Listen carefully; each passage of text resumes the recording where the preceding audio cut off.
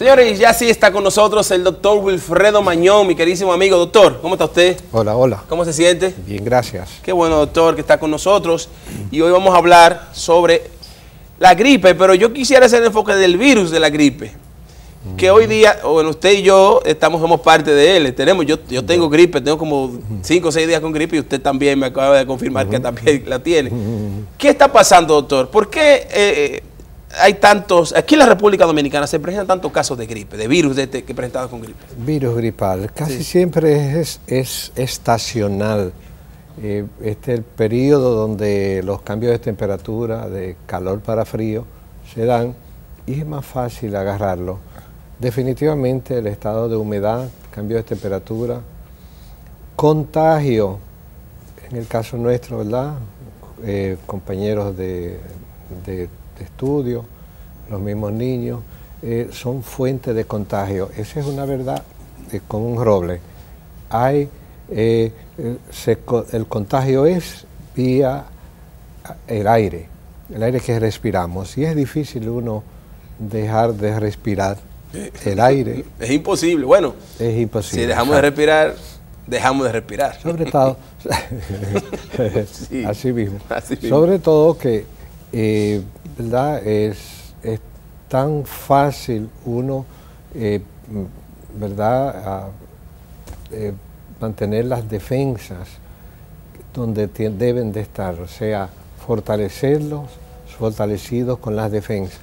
Yo siempre acostumbro a decirle a mis pacientes, cosa que yo no hice, tomarse una pastillita de vitamina C todas las mañanas y una vez se cansa de ella, pero de que ayuda, ayuda. En ese sentido, eh, ténganlo presente.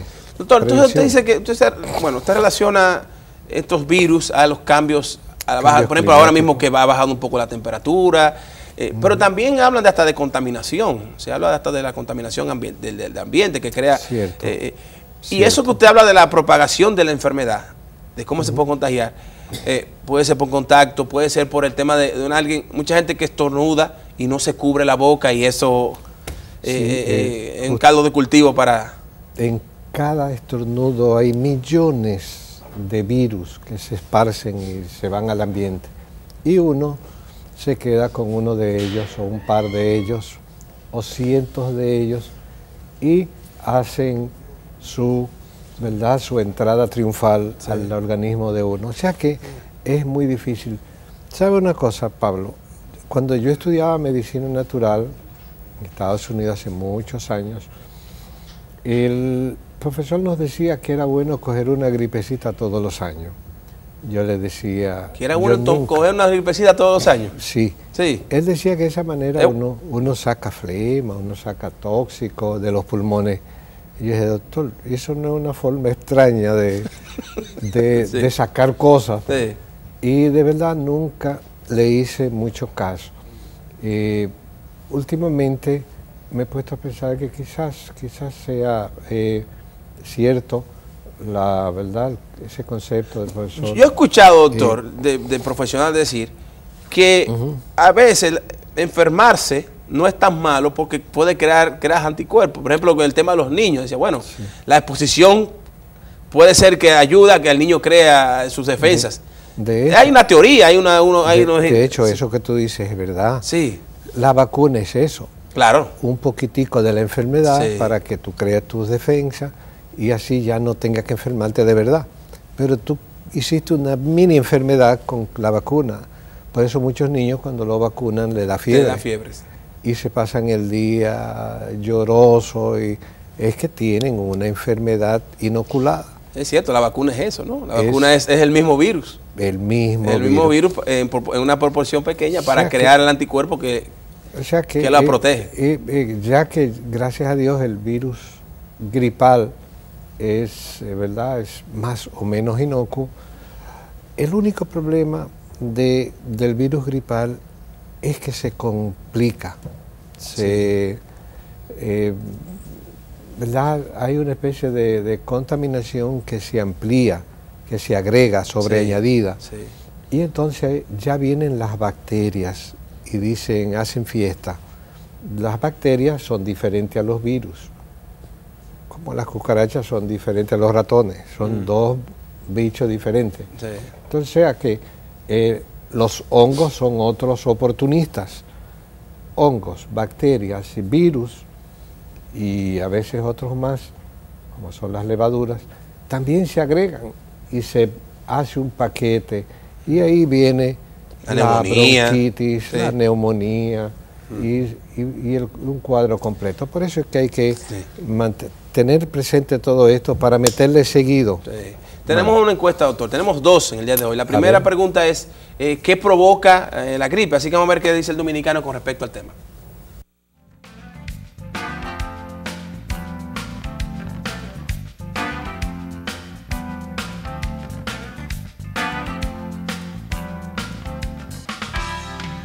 Eh, la gripe se contagia por medio de la contaminación que hay, por ejemplo, y por falta de, del cambio de clima. Cuando una persona te tose encima, cuando te estornuda, así se puede contagiar. Es un virus, se contagia del aire por otra persona. Mm, no. No tengo la más mínima idea, dicen que por el cambio de clima, pero no tengo realmente la más mínima idea. La gripe se contagia a través de, un, de un virus que anda en el aire gripe es un virus, ¿verdad? Que se transmite, puede ser porque en el aire esté eso, qué sé yo. Por contaminación o por contacto de algo, de algún objeto o algo que está contaminado. Bueno, con la contaminación del medio ambiente, de una persona a otra. La gripe se contagia por la respiración, contaminación del medio ambiente.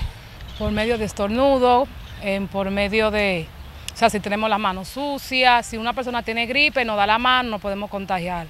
Bueno, cuando las personas aternudamos, que no nos cubrimos con un pañuelo, o cuando utilizamos utensilios del hogar, ya sea una cuchara, un vaso, y entre otras cosas más. La gripe es un virus hasta donde sea. Yo diría que se contagia por el cambio de clima, se propaga, como se supone, si una persona infectada, eh, se la contagia a otra, puede ser tosiendo.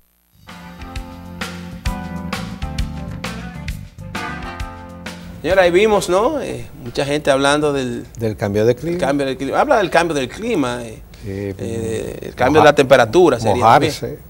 mojarse. Que, le caiga un poquito de lluvia. Siempre hablan del sereno, doctor. El, sereno. Eso es cambio de clima también, ese es humedad. Casi no coja sereno, usted nunca le decía eso, chiquito. Sí, sí.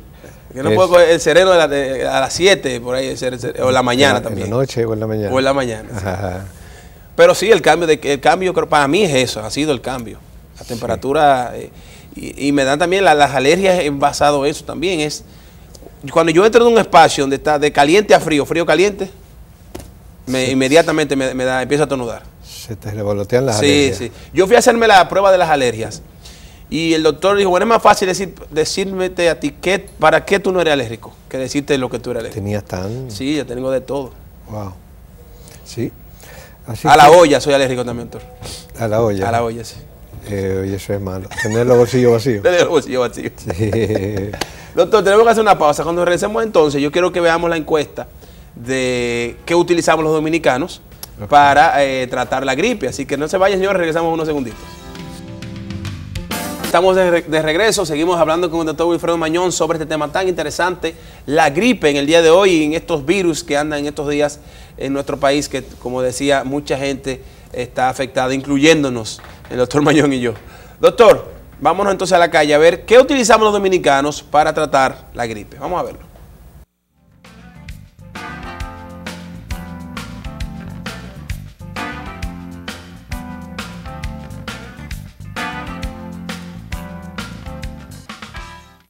el té de chinola con la hoja de cereza, el agrio de naranja, el, de limón y la raíz de anamú, la doñana, limoncillo, le echo canela y, después para endulzarlo lo endulzo con miel de abeja. y le echo a hervir un chin de cebolla. Cebolla con miel de abeja.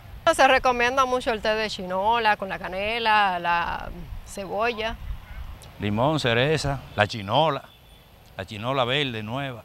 Eh, chinola, con cebolla, canela, eh, nemocada, el limón también, o sea, es una mezcla. Hace un té. Miel de abeja, limón, eh, cebollín, muchísimas combinaciones. El té de canela con hoja de naranja, eh, hoja de, de cereza y la hoja de, remola, de, de chinola. Un té de limón con canela. También tenemos que poner té de limón, canela, cebolla y chinola. Y un toque de menta blanca con un poco de azúcar. Limón con miel de abeja. La miel de abeja con limón, eh, con ¿qué más? Gomenol, no sé, eso no es tan natural, pero toda la mezcla así, con rábano, cebolla, todo eso mezclado, eh, tengo entendido que es un buen remedio para la gripe. Doctor, mucha gente. Y la No, la chinola, gente- la limón, la chinola y cereza. Fueron, yo creo que las protagonistas de este encuentro. Con la miel. Y hay la miel. Sí. Sí, la gente está clara que definitivamente la vitamina C es valiosa, es útil y las, esas infusiones son buenas. Qué raro que no pusieron la favorita de muchos. Eh, parece que en esa zona geográfica donde son esos, ese grupo, prefieren la chinola y la cebolla. Pero hay otros que usan el limoncillo. ¿Tú has oído mencionar el limoncillo? ¿La quenepa? No. El La limoncillo, hoja. la hojita La larga. hoja larga, sí. Esa es la ideal para los procesos gripales. Eh, por lo tanto, nosotros la recomendamos bien, es una de nuestras favoritas.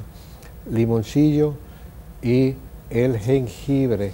No me mencionaron el jengibre. ¿No mencionaron el jengibre, lo- doctor? Extraño, ¿verdad? Y la sábila tampoco. No, qué es raro, ¿verdad? Pues la sábila es el comodín. Es, es otra favorita de, Sí. de- de la población. Sí. Y a nosotros nos gusta mucho tanto la sábila como el jengibre y la, las hojas, hojas de guanábana y hojas de naranja. Mencionaron la naranja, bueno, la más la chinola, pero a nosotros nos gustan mucho las hojas de naranja y las hojas de guanábana. Cuando te habla de naranja, se habla de. Porque en la República Dominicana, cuando te habla de naranja, Sí, de la naranja gente piensa en naranja agria. Cierto. Y cuando te habla de. Es naranja, eso te refiere a naranja, Sí. al fruto naranja sin De la China, De la cierto. China. Ujú. Que yo- los dominicanos le decimos China. ¿verdad? Sí, sí, sí, cierto. Sí. Y la verdad es que... eh, Doctor, disculpe, ¿para qué sirve la naranja agria? ¿Qué usted recomienda? Eh, Porque a mí me gusta el jugo de naranja agria. Pero el ¿qué? jugo. Sí. Es la misma china, pero más fuerte, más concentrada, más Sí. áspera. Tiene la Mm. misma, haría la misma función que, sí, que sí. medicinal que una naranja, que una Eh, china. Y mucho más. Imagínate duplicar la dosis de una dos par de naranjas. Tú te tomas una naranja agria y es como si te tomaras cinco chinas. O sea que es, es, es buenísima. Sí. La recomendamos y sobre todo en sustitución de la sal. Los que tienen problemas de hipertensión arterial a tomar, a sustituirlo por el limón y la naranja agria. Doctor, me dicen aquí, la cáscara rallada de varios limones, la cebolla, la cebolla, jengibre y miel, licuar todo y hacer un, un, un sirop, dice. exacto. ¿Eso se puede? Nos gusta mucho. Sí. La cáscara rallada del limón es, eh, debería de usarse para muchas cosas, no solamente para los procesos gripales, sino para los problemas circulatorios, las personas que tienen varices.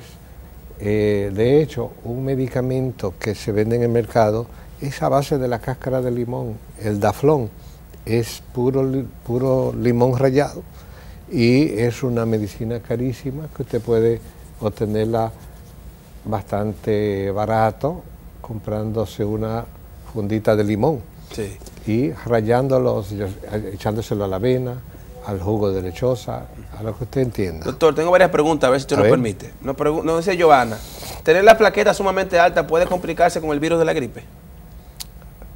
Ah, la verdad es que es casi siempre es al revés.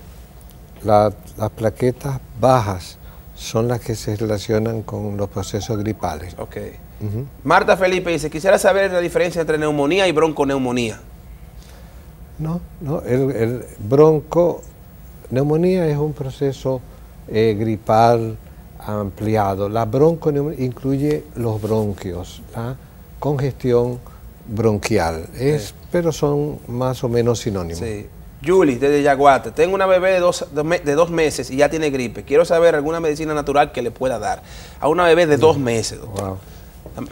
Yo sé que usted es medio escéptico con la medicina natural y los niños. Sí, sí, sí. Los niños no reaccionan como un adulto. Como un niño de dos años en adelante preferimos la natural. La medicina natural de dos años en adelante. Ahora, en el caso de ella, dos meses, hacerle agüita de sal y ponerle infusiones eh, y instilarle agua de sal por cada fosa nasal. Eso le va a ayudar a fluidificar y a sacar la flema. Sí. Eh, también... Sea que el niño, ahora que usted dice, el niño mío, mi última adquisición, eh, tiene, eh, está un poquito congestionado. Y lo único que me dijo su pediatra era eso mismo, el agua, la, agua de sal. agua de sal.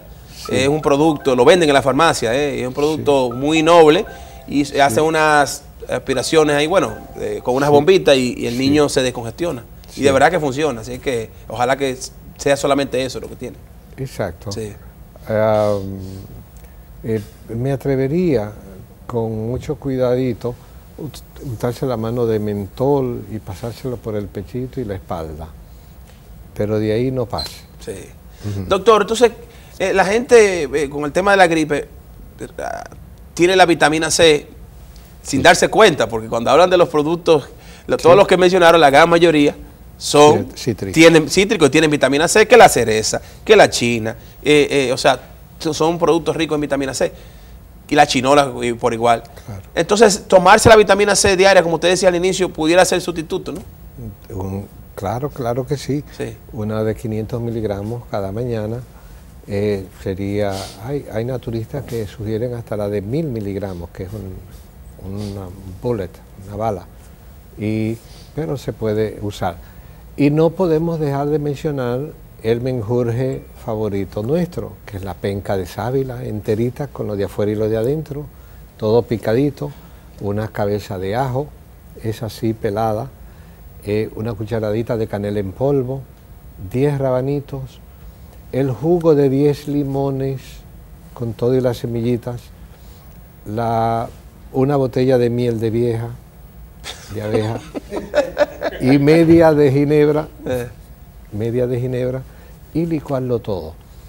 Eso nos va a dar tremenda medicina. Vamos de nuevo. Que es la que estamos nosotros tomando. La penca de la, para De que la la gente dé tiempo, a, a- la penca de la sábila, es los cristales, El cristal, el cristal y el exterior. y el exterior, quitando la, la pullita. Exact- Exactamente. Una cabeza de ajo, Exacto. eso sí pelado, Sí, sí. 10 rábanos, 10 rábanos, eh, una ginebra, cucharadita de, antes ah, de una cucharada de, de canela en polvo, canela en polvo, limones. limones, 10 limones y la semilla de uno. De todo lo digo. Ah, todo, todo con todo y semilla. Lo que es de uno es la cascarita. Ah, la cáscara, exacto. Sí. 10 limones con todo y semilla y la cáscara de uno se le echa. Sí, sí. ¿Qué me falta? Miel, Los, los líquidos. La miel. La miel. Y la ginebra. la ginebra. Se licúa Se licúa y se tiene tremenda medicina. Mo- nos ayuda sobre todo a sacar la flema, que es lo que, lo que hace la tos y lo que va a hacer este licuado. Me preguntan, doctor, ¿no trae problema darle directamente el aceite de tiburón a los niños a partir de los 6 años? El aceite de tiburón como el aceite de bacalao son excelentes.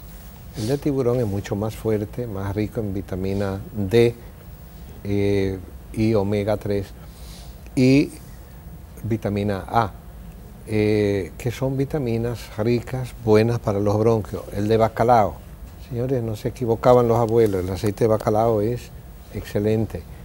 Eh, Muchas personas usan, ustedes oyeron en la entrevista el gomenol, ese es otro aceite, a base creo que de una resina también, pero es muy, es favorito, fa- eh, es, es uno de los favoritos de muchos dominicanos en el país.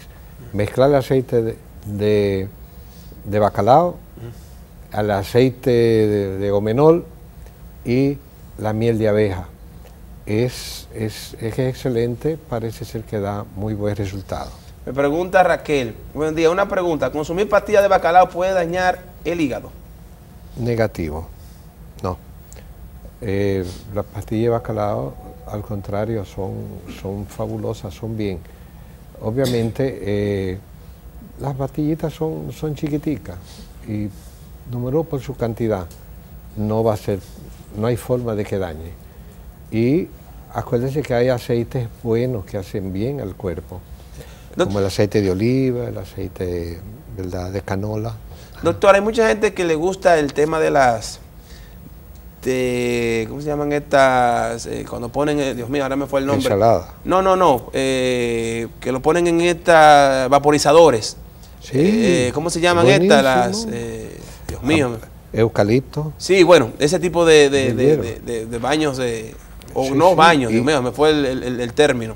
Pero bueno, que se utilizan los vaporizadores para, esos son buenos, pueden utilizarse, ¿qué usted sí, recomienda? Sí, nosotros lo recomendamos. Sí. A un niño ponerlo eh, en, o sea, aún hasta los recién nacidos, ponerlo a Nebulizar. respirar, nebulizar en un ambiente de agua, porque es lo que hace el vaporizador, coger agua y prácticamente esparcirla en el ambiente de una, en micropartículas, pero que venga también con un té de eucalipto. Es uno de los favoritos y de los buenos, de los, de los remedios buenos para el proceso gripal. El virus de la gripa debe de durar tres o cuatro días, qué sé yo, cinco. Una curva ascendente y una descendente. En la ascendente hay fiebre cuando comienza, eso es usual, eso es normal.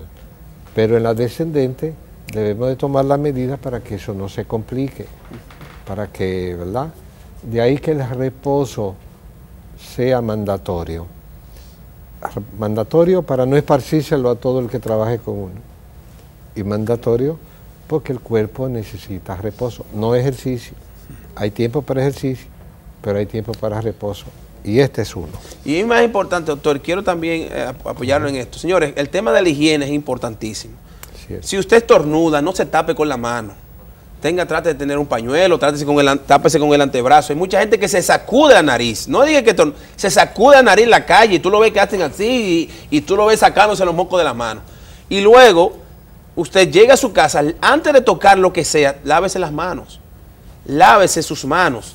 Eh, eh, si está en sitio cerrado, no estornude, vuelvo y repito, no estornude, trate de taparse o salga de ese espacio porque usted está contaminando a los demás. Las medidas de higiene son vitales para este tipo de, de virus, para el aparecimiento de, o para, para la ruptura de la- del ciclo de vida de- del- del- virus. Usted llegue de la calle siempre debe de lavarse, Debe lavarse las manos. Aunque no te Sí, gripado, sí, sí, sí, sí. pero uno nunca sabe. De la calle, haga, hay que hacer como los chinos, los, orientales. Se quitan los zapatos de que llegan a su casa. ¿Por qué? Porque dicen que de ahí todo lo que uno, la contaminación de la calle vino ahí y no lo dejó fuera. Por eso ellos no entran a la calle, a la casa con zapatos. Es por eso, ¿eh? Y por eso hay que lavarse las manos. Señores, Centro Médico Natulan está en pantalla. Teléfono y dirección donde el doctor Wilfredo Mañón junto a un grupo de profesionales pueden darle trato a sus temas de salud. Centro Médico Naturlan, ahí está en pantalla. Doctor, muchísimas gracias. Eh, De nada, mi hermano. eh, cuídense mucho, nos vemos el próximo todo. lunes. Seguro. Señores, a todos ustedes, gracias por su atención. Ya lo saben, eh, mantener las mejores medidas de higiene y de control de estos virus que pueden esparcirse en toda la familia. Es difícil que un virus se quede en un solo miembro de la familia. Siempre hay otros que lo tienen. ¿Por qué? Porque So- nosotros no tomamos las medidas. Solidaridad. A solidaridad. Nos vemos, señores. Pasen buen día.